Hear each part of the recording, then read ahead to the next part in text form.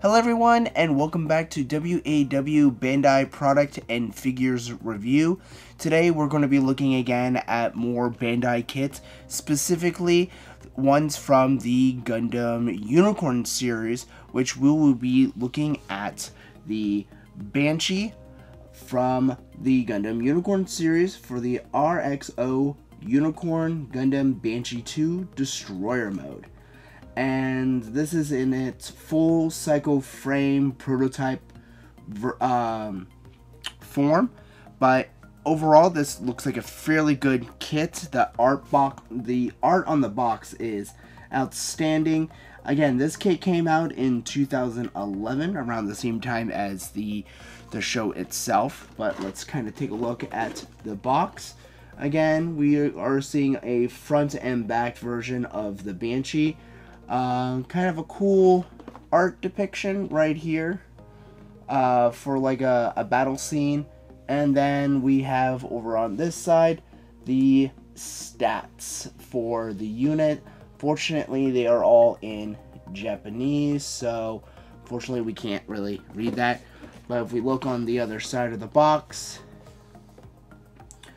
uh, we can see that um, it is fairly posable for this kind of kit. So this is actually kind of interesting uh, for posability. So this is actually really cool with uh, showing different details for the activation for its full psycho frame and also its unique uh, appendages and weaponry that it has. So without further ado, whoopsie, let us dive into the uh, what most people just refer to as the Banshee.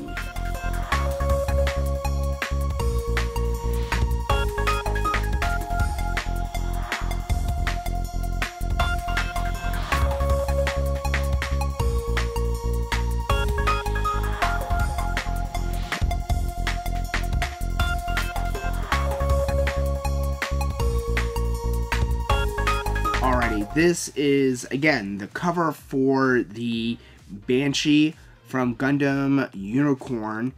Uh, and this is the Destroyer mode. So this is the, the main enemy unit or the other Gundam unit that is in this series. Again, the art box is gorgeous. And as you can see, this is an, an original uh, 2011 Bandai release for this model because of the red logo. So that's pretty cool. And it also has a nice little watermark here uh, showcasing what the unit number for this kit was.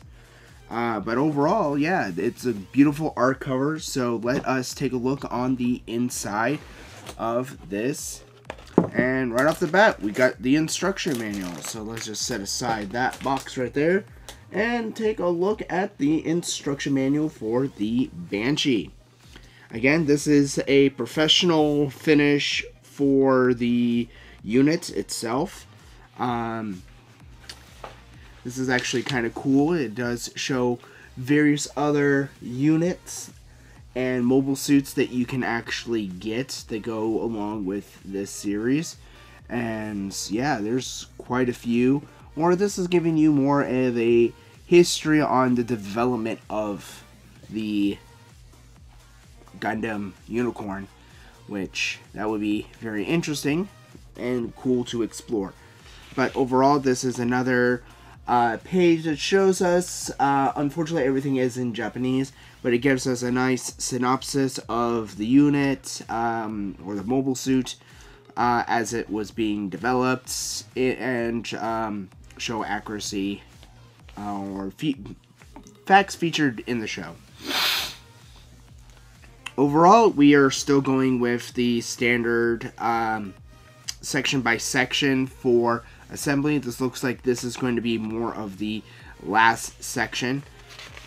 The instructions on here are fairly well uh, designed or really nicely laid out. Uh, again, we have several part sheets here that tells us uh, what runners are what and luckily for us Bandai does a really good job of making sure most of the parts that are going to be made are colored.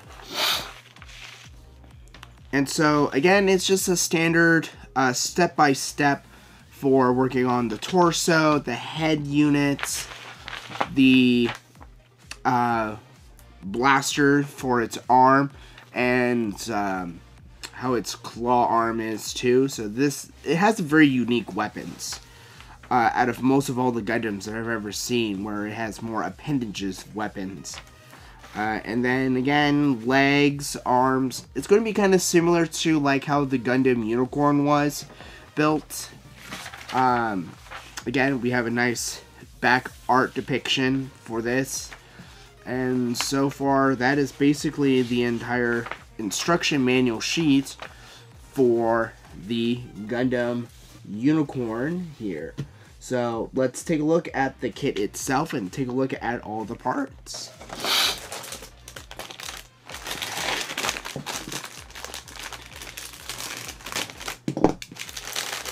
So we're starting off with runner A, and yeah. So basically, it's going to be more of a gray and black. So a lot of these are going to be more for nozzles, the joints, and for the shield. Again, we do have a, portion for the head, which is a nice uh, golden kind of color. So that is the for the runner A here.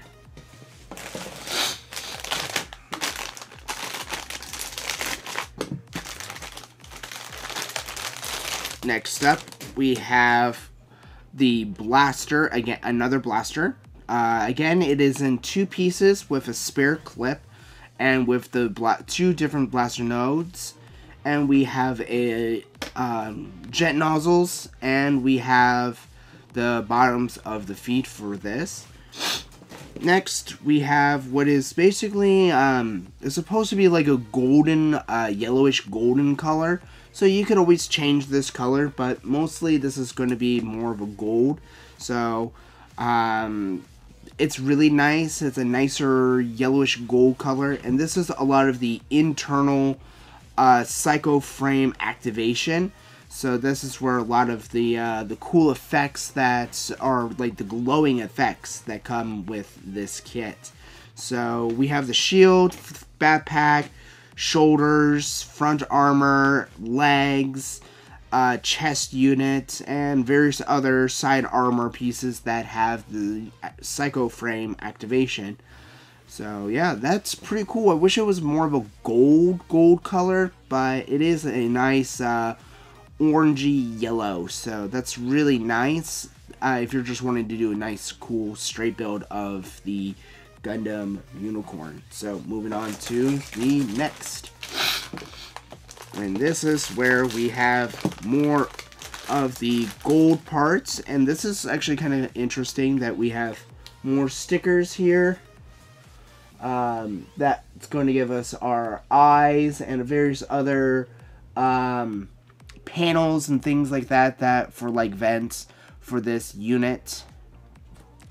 Again, we got more gold uh, or orangey yellow gold, if you want to say, because I swear this is more gold color than these are. But this is actually fairly well done for the molding and coloration for these parts.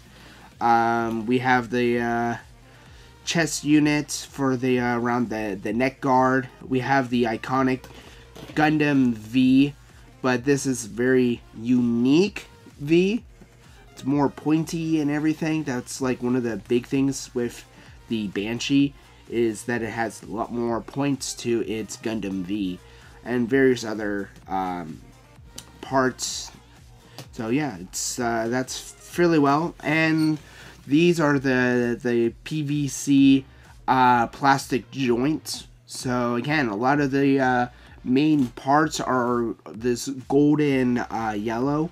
So why not have the PVC be more of a yellowish kind of color?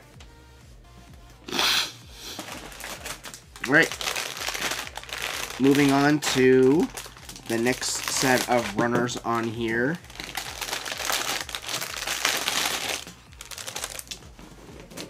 Alright, so this is where we have the top of the chest units, various arm units. Uh, we do actually have a standard Gundam hand. Uh, and then we have the uh, blaster, that the, the electron blaster that it has, and various other armor joint uh, pieces. And then we also have the uh, shoulder armor, which is a, a unique one. So that's for runner F. And now on to runner B. This is also, we have various pieces for the chest, uh, the lower uh, fuselage for the, the hip unit, the front and back armor, uh, the leg joints for a front and back, uh, and various other armor pieces. And this is also where we have the shield front and back, which is more of a just a black kind of tint to it. So it's the same kind of shield as the Gundam Unicorn, but black. We also have the a head, which is comprised of two pieces, which is the front and back. So that is this runner and various other armor added pieces. We also have um, four beam sabers and various other uh, armor and joints for the backpack and the uh, waist unit. And lastly,